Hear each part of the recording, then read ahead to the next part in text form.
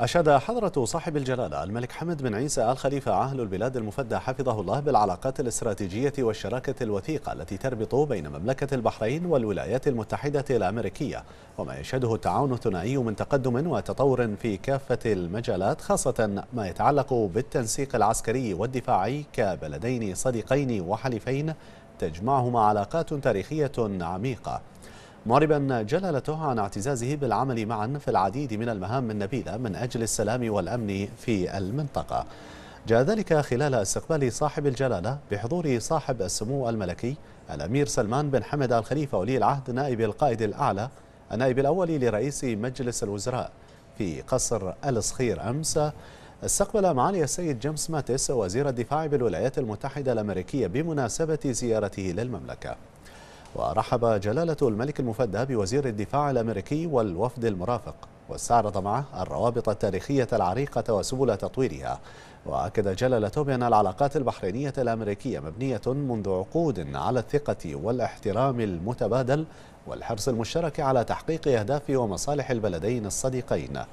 ونوه جلالته بالدور الفاعل الذي تطلع به الإدارة الأمريكية بالتعاون مع الدول الحليفة والصديقة في إرساء دعائم الأمن والاستقرار في المنطقة وحماية الأمن والسلم الدوليين مؤكدا دعم مملكة البحرين ومساندتها لجميع هذه الجهود والمساعي. وأكد جلالة الملك المفدى أن مملكة البحرين تسير على نهج التطوير والتحديث والتقدم في كل المجالات المختلفة.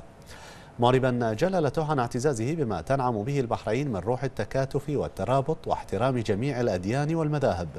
مشيدا بالدور الذي تقوم به الجالية الأمريكية في البحرين ومساهمتها في كافة المجالات عبر تاريخ البحرين وأنهم يلقون من أهل البحرين كل الترحيب والإحترام. من جانب أعرب معالي الوز...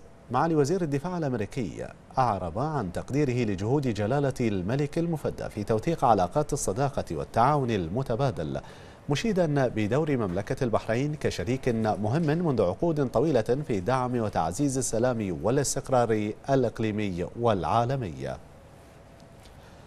كما جرى خلال اللقاء تبادل الآراء ووجهات النظر بشأن المواضيع ذات الاهتمام المشترك بالإضافة إلى بحث مجريات الأحداث في المنطقة.